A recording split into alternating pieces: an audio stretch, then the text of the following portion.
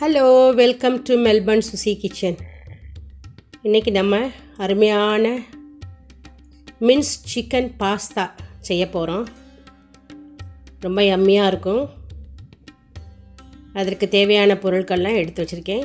Tomato paste onion பாதி capsicum அஞ்சு garlic பூண்டு அரை கிலோ கொத்துக்கறி சிக்கன் ஆலிவ் ஆயில் இப்போ ஒரு பேனில் ரெண்டு ஸ்பூன் ஆயில் ஆயில் விட்டுக்கலாம். அல்லது நார்மல் ஆயில் விட்டுக்கிறாந்தா விட்டுக்குங்க. அஞ்சு கார்லிக் பூண்டு பொடியாக வெட்டினது.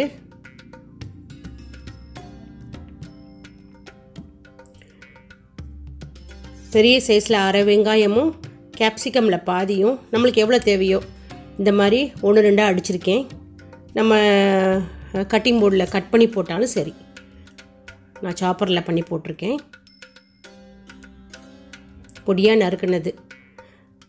நல்லா வதக்கிக்கலாம். பசங்களுக்கு ஏதாவது டிஃப்ரெண்ட்டாக பண்ணி கொடுக்கணும் அப்படின்னு நினச்சா நீங்கள் தாராளமாக இதை ட்ரை பண்ணுங்கள் மஞ்சள் பொடி சில்லி பொடி உப்பு கொத்தமல்லி பொடி மல்லிப்பொடி கரம் மசாலா கொஞ்சம்.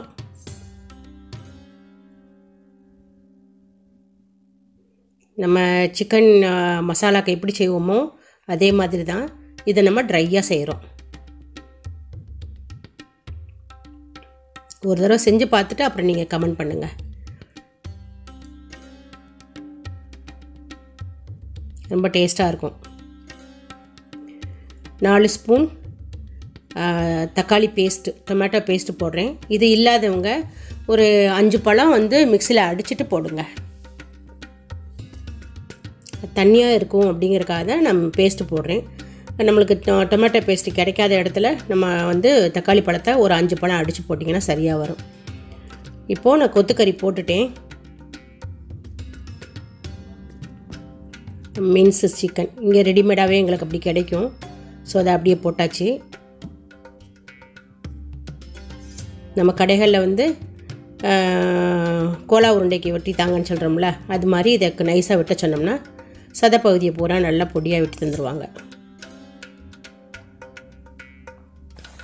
அருமையாக ரெடி ஆகிட்டு இருக்கு இன்னொரு இதில் வந்து பாஸ்தா வெந்துக்கிட்டு இருக்கு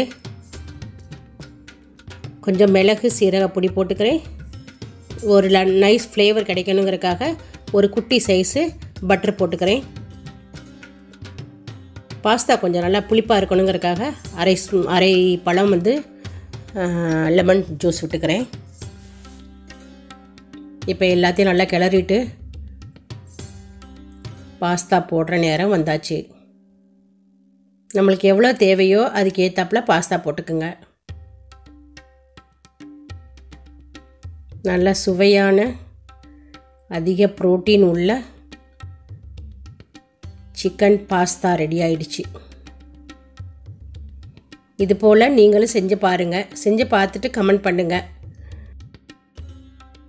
இப்போ தான் நீங்கள் என்னுடைய சேனல் பார்க்குறீங்க இந்த வீடியோ பார்க்குறீங்கன்னா please subscribe my channel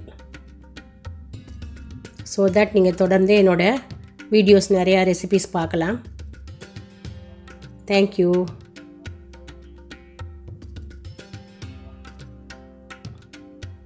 நம்ம சீஸ் போட்டும் டெக்கரேட் பண்ணிக்கலாம். இல்லை அப்படியே விட்டுட்டு சும்மா சாப்பிட்றதுனாலும் சாப்பிட்டுக்கலாம். இது போல் ஹெல்த்தியான ரெசிபீஸ் உங்களுக்கு வந்துகிட்டே இருக்குது. Keep watching. Thanks for your support. See you in the next recipe. Bye.